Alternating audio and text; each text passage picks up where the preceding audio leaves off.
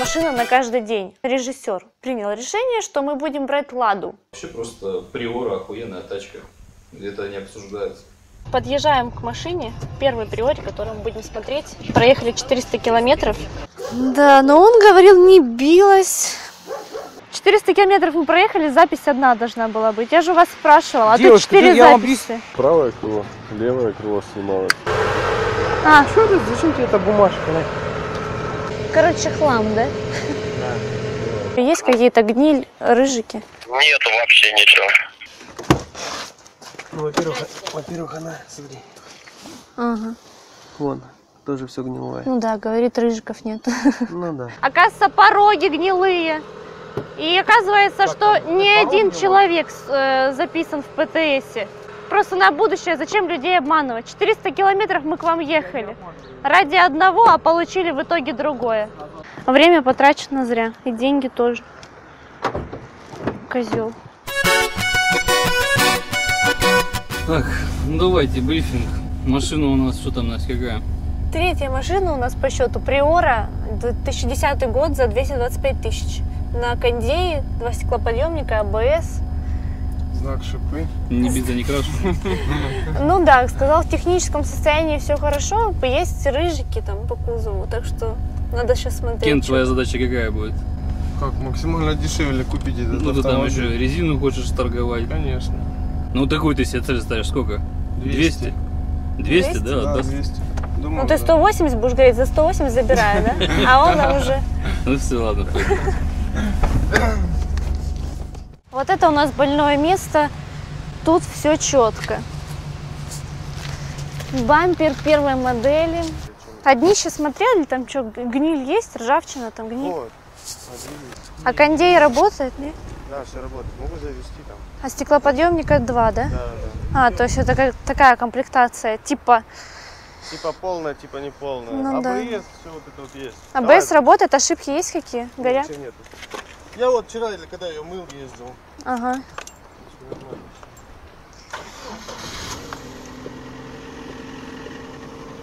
Ага, и чек не горит, ага, хорошо. Под капотом не мыл, да? Хорошо. Нет, ну, Так, ну двигатель вроде работает достаточно ровненько. Достаточно ровненько. Кондей есть, это уже хорошо. Вот работает он или нет, неизвестно. Ну так, конечно, ничего, выглядит нормально. А тут обогревов нет, да? Седух. нет. Стаканы задние не смотрел еще? Это же их беда. Задние стаканы. Даже лабаш не менялся, да?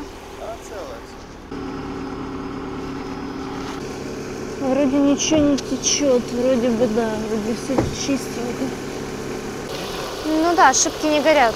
Чек не затушен. Ну, Сапуна чуть капель, кидает масло, видишь?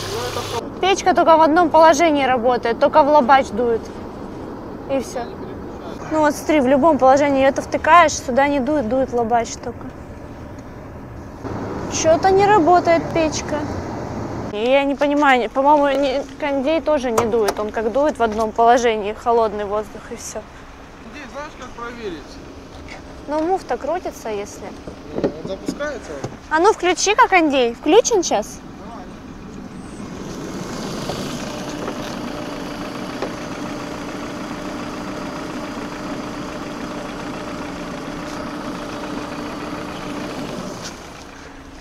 Включил, да? Он не включается, Настя, я отсюда чувствую. Да вот он. Не-не-не-не-не, я говорю, он не включается там. Муфта не включается. Да, я Ну, то есть он не рабочий кондиционер. За что тут 12 215, ребят, вы что? Так, короче, она по кузову-то нормальная. Да все там нормально, да. Не работает только печка, ну, точнее, в одном положении она только дует. Так она, ну, по багажнику везде вроде железо нормальное, да? Ну, я имею в виду вот эти больные места, которые остальные. 215, потому что 215 пока что что-то упирается сама. не работает продавец. кондиционер Ну, и? Продавец не и он. не работает печка. Похеру. Не, печка работает, печка в одном положении дует. Ну да, да. Смотри, он мне звонит на телефон. Ну, 215, Да не, 2010 год. Ну, надо предложить ему как бы подешевше, если уступит хотя бы. Ну он же 10, вот, он 10. сейчас ей звонил, сказал. Ну, потому что там тетя где-то сидит, блин, и она уперлась рогом, и все, ей вот 215 надо, давайте мне Если она здесь сейчас присутствовала, начали бы ей как бы вопросы задавать. Пусть рабочую машину продает за эти деньги тогда. Да. Алло, слушай, Женя, да вот Петр машину сейчас привез. Ну пообщайся как бы с, ну, с, Еленой, с теткой своей электронной. Ну как бы если она готова 210 отдать, мы прямо сейчас бабки отдадим на месте, тут дело там 15-20 минут. И все, договор купли-продажи и поехали, все счастливые. А? Не, ну это тоже несерьезно. Давай тогда с заправленным кондером и с печкой рабочей. Тогда 215 дам, блядь, вот честно. Ну, давай. Ну, а так вроде целая машина. Фаркоп на ней стоял. Не, мне понравилось, как двигатель, знаешь, так работает ровненько вообще. Ну да. а, всё. я, кстати, коробку мы ни хера не проверили. Надо же было проехаться, коробку проверить. Вот мудилы. Ну сейчас, сейчас пообщайся, если Хера готовы. это, знатоки. Да не, не, ну подождите. Хотя бы по кругу, по Если они уж по цене, там сейчас если еще коробка там что-нибудь не так, блядь, ну, естественно, о коробка. Ну давайте выходите, будем дальше уже тогда беседовать. Да нам что-то мы это, что-то я тоже, блин, сижу, блядь, я как будто покупаю себе лавочку в огород. Надо было хоть проехать на ней. Да сейчас проедем. Ага. Ну все, давай. Лавочку, огород. Что, поехали за ними, садись. Нормальная приора. Где-то почему тебе стоит помидоры ответ напиши нам песню про приору Но где-то привет, сколько зим, сколько лет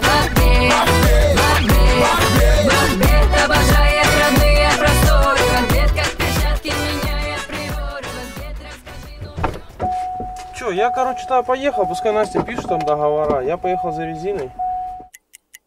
Колесами даже на литье, да? Да. Ну да, нам еще поездить хватит.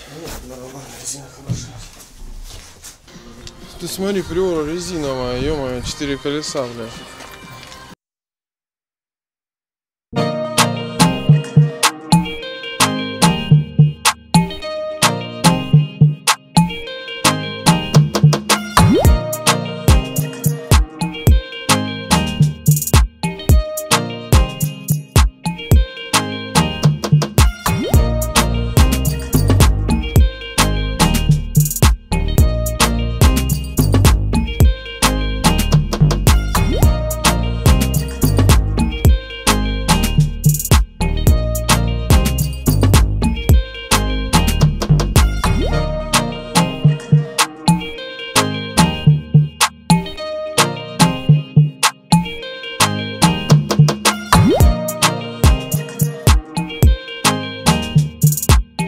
Ребят, взяли мы эту приору, которую сейчас последнюю смотрели, и оказалось, все-таки можно найти приору в хорошем состоянии и действительно не битую и не крашеную.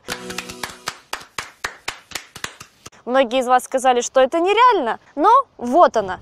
И за какие деньги, кстати, ребят, за 210 тысяч мы взяли Приору 2010 года. Но это как бы круто, да? Да, Приора у нас первая, дорестайловая. Здесь обычный бампер, поворотники у нас в крыле, и зеркала, соответственно, обычные. Плюс к этому ко всему вы мне говорили то, что капот это у них больное место. Привет, братишка, давай пять. А, да подожди, стопы.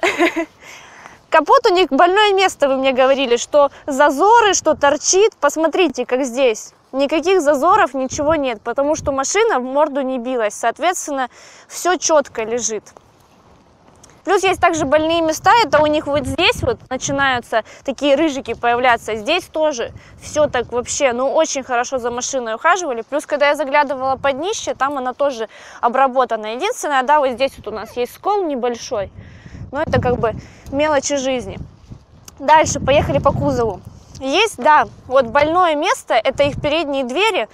Есть небольшие вот здесь, вот по низу у нас рыжики. Но я считаю, это настолько как бы незначительно и не критично, как было в предыдущих машинах, которые мы смотрели. Да, кстати, большое спасибо моим друзьям, которые скинули объявление вот этой машины. Эта машина оказалась вот совсем под боком, в городе Волгодонске, где я сейчас и нахожусь. Ее выложили вот буквально недавно, и я приехала, сразу ее взяла. То есть очень повезло, потому что машины в таком диапазоне цен очень быстро разлетаются. Разлетаются просто как пирожки. Еще люди умудряются, конечно же, на этом поднаживиться. Очень много мошенников. Есть вот небольшой такой дефектик, царапинка, вот такая вот. Ну, при полировке она уберется. Изнутри мы все посмотрели, там все, ни, ни гнили, ни ржавчины, ничего нет. Ну, соответственно, и задняя часть машины у нас тоже дорестайловая, ничего тут никто не переделывал. Все как с завода вышло, так и осталось. Еще нам повезло с колесами. Здесь стоят штампы на зимней резине. Резина, кстати, здесь хорошая зимняя. Также досталось нам еще литье. Да, литье, конечно, так себе, но при желании его можно привести в хорошее состояние и ездить на нем. Поехали дальше. Что у нас там по комплектации? Так, а комплектация у нас, значит, не самая люкс, но здесь есть кондиционер. Он есть. Да, мы проверяли его, там почему-то муфта не крутится, но я думаю, это все же проще и дешевле разобраться, нежели покупать машину без кондиционера и еще дополнительно устанавливать его сюда. Что касается стеклоподъемника, стеклоподъемника здесь всего два, сзади у нас стоят весла. Не знаю, слышно вам или нет, но двигатель работает хорошо. По сравнению вот с той машиной, что мы смотрели в Михайловке, там двигатель работал просто как трактор, вот этот момент.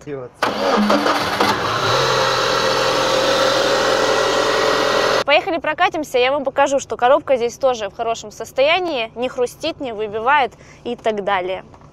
Да, мне еще, кстати, удивило, где тут включается свет, вот тут вообще сбоку. Ну, кстати, привыкать мне долго не пришлось вообще. Вообще привыкать не пришлось. Часто говорят, возникают лишь сложности, когда с правого руля переса- пересаживаешься на левый, либо наоборот.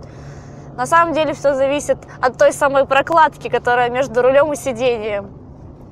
У меня ну, вообще нету дискомфорта, на каком руле ездить. Конечно, хочется ее преобразить. Поэтому буду рада вашим идеям. Если, может, у кого есть какие-то предложения, пишите их комментарии обязательно, ребят. Мне это очень важно. Потому что сейчас приора сток. Но у четкой девчонки должна быть четкая приора. Но тут есть тонкая грань. Это главное машину не заколхозить.